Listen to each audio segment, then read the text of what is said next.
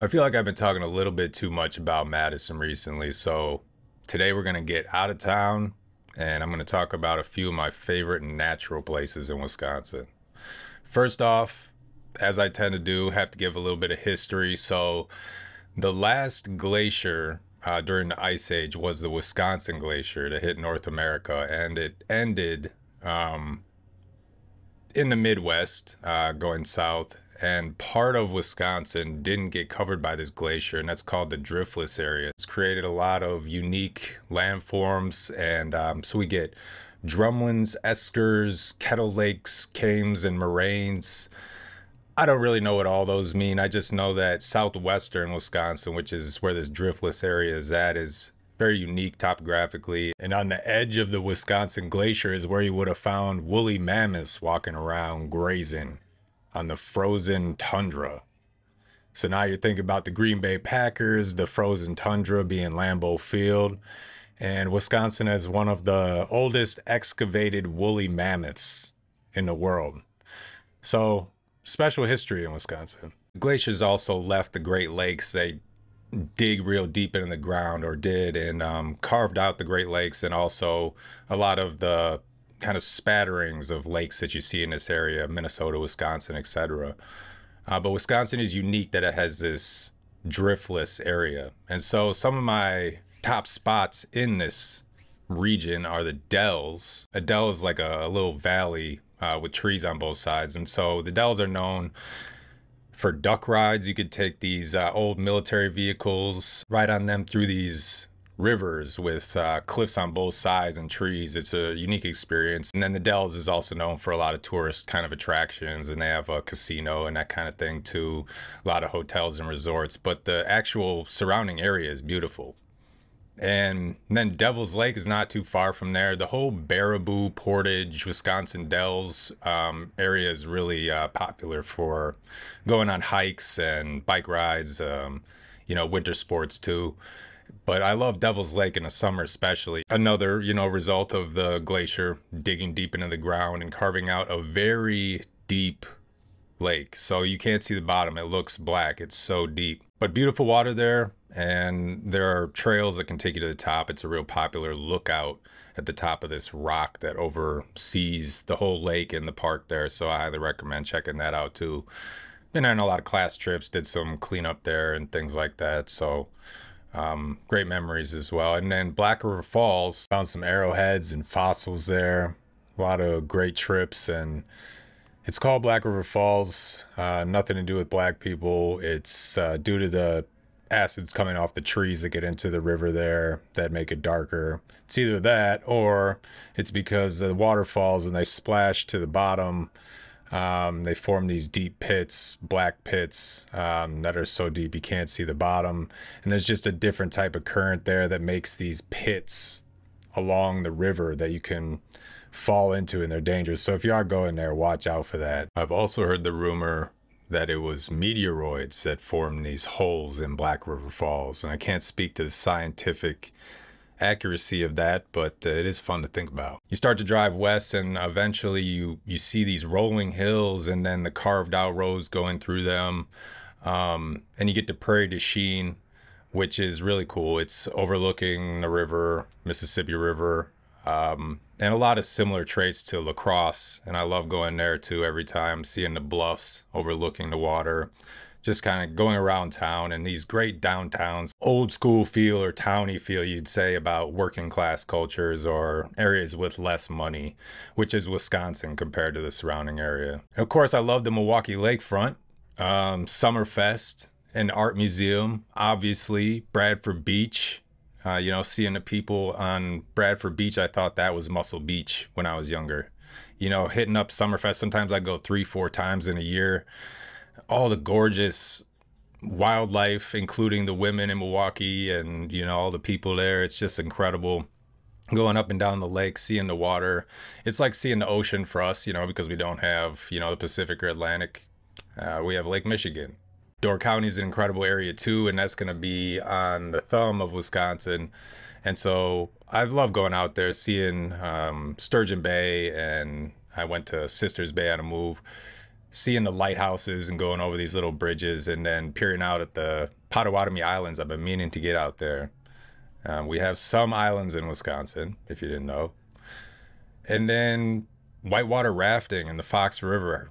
Check that out if you get a chance too. It was a lot of fun. Uh, the one I went on had a big waterfall in the end where, well, two of them you have to choose. One's like longer and flatter, and then there's another one that just dumps right off. Up north, let's talk about it. So I met a lot of black folks from the south side of Chicago, and a lot of them say up north to refer to the north side of Chicago and or the north side of Chicago and Wisconsin or anything north of Chicago. Coming from Madison, many people here say up north is anything past the major two cities in southern Wisconsin, Madison and Milwaukee. And then there are others, and these are usually those from the more uncultured, white collar, urban and suburban backgrounds that say up north is equivalent to the backwoods or the Northwoods. Northwoods is really what we call it here. So that's like Wausau and up. And I have family up north around Menomonie, so I have a different perspective. Menomonie on the western side of Wisconsin, not on the eastern side. This is the farm on that side.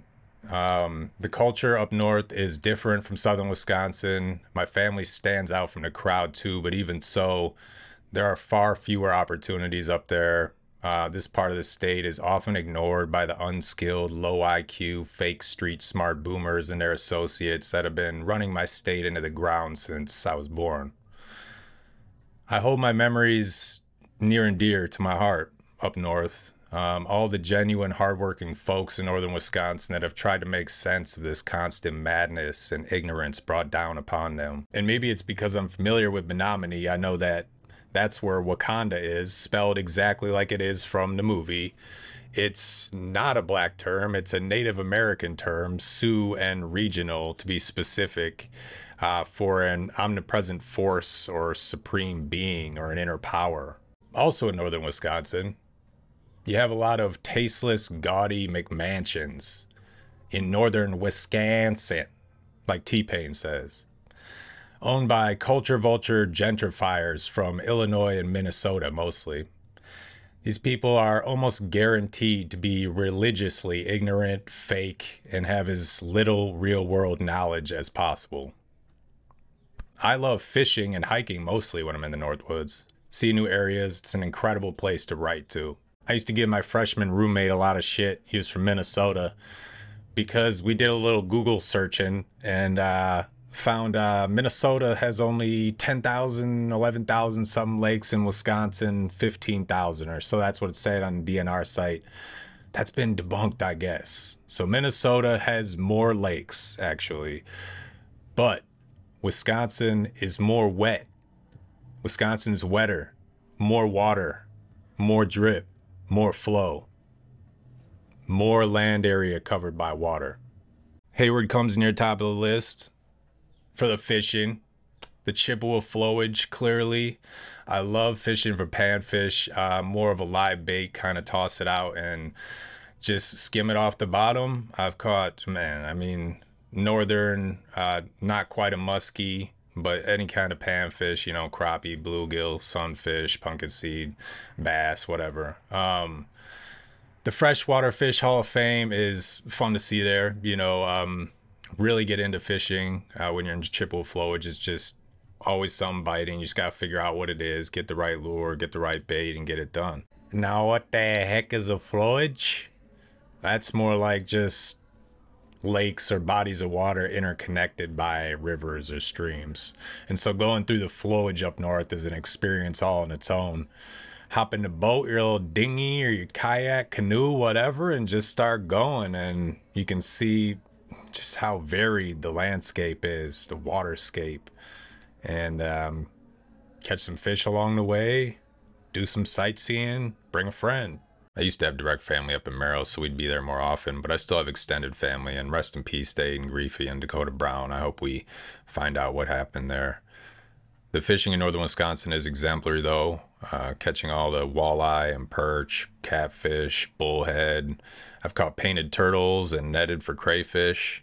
Uh, so the waters are rich. If you are looking to catch a trophy fish, northern Wisconsin is your best bet.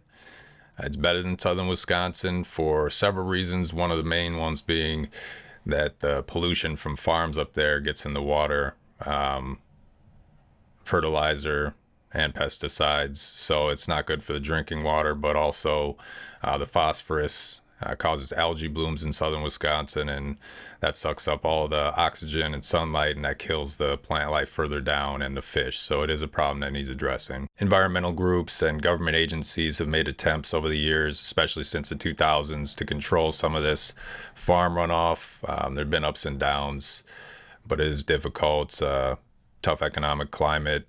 It's a lot of uh, adaptation that you're putting on the farmers, and um, it's not easy work to begin with. So it's a problem that still needs addressing um, and will require continual efforts uh, to implement. Also, Merrill is Rib Mountain. Um, and I already talked about the snowboarding and my favorite place. I didn't mention Rib Mountain, but that's in Merrill, and uh, they changed the name to Granite Peak. But they did call it Rib Mountain because local legend says that Paul Bunyan was buried there, and his ribs are what compose the ridges on the mountain. Love going there too. Um, so just uh, kind of diamond in the rough in the Northwoods if you want to go snowboarding or skiing. Me and my aunt and uncle and my cousins were living on that lake in Merrill. Had the opportunity to taste some of the local culture, the cider that they're making, also go kayaking and do these other water sports on top of the fishing and hiking. And there's some disc golf courses up north, becoming more common now. Um, so there's plenty to do you know, but the fishing was always central um, and is still central to my trips when I'm going up there. It's always on my mind. If we're not fishing, what are we doing? Rhinelander is another one of my favorite places up north. Another small town. Um, great to stop in when you're on a trip up there and uh, get what you need. Check out the local culture. And one of their things is the hodag, and that's a scary creature, you know, that comes out at night or, you know, certain seasons. It would be like um, the Jabberwocky or the Yeti. And so there's the fishing, you know, also some crazy stories to check out up there and go and see, you know, maybe where they started. But Ashland is no joke in the Apostle Islands. Um, this is not some fairy tale. Uh, this is very sacred ground to Native Americans. And I've been meaning to get to the Apostle Islands. I've been up to Ashland, great, saw the view. Um, but I just couldn't quite get there. So, like the Potawatomi Islands, these are the other um, popular islands that we have in Wisconsin. I've been meaning to get there too.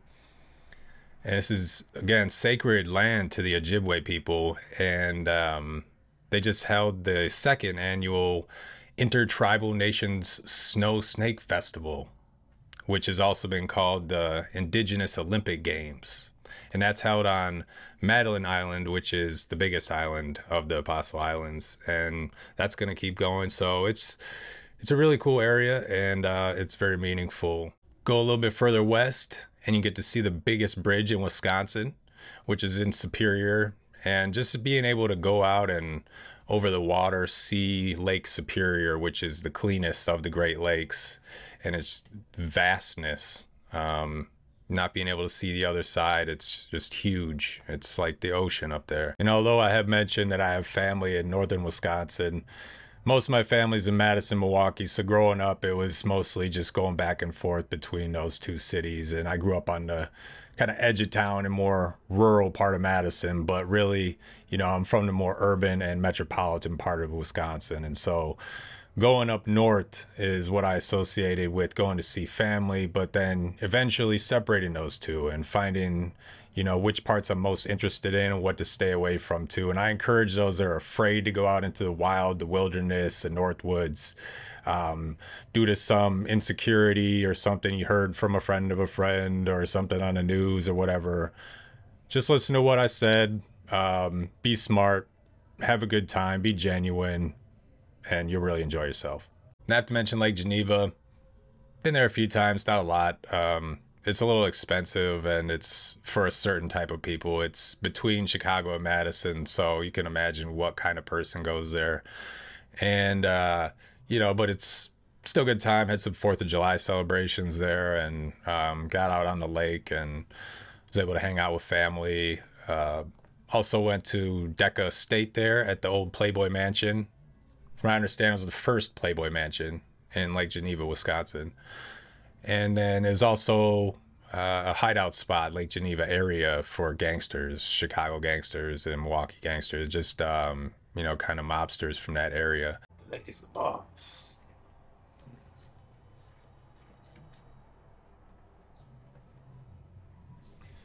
That being said, make sure you do get out of your bubble, out of your box, get out of town and get some culture. Check out some of these places that I recommended or not. There's a lot to see and do in Wisconsin. Maybe I'll see you out there.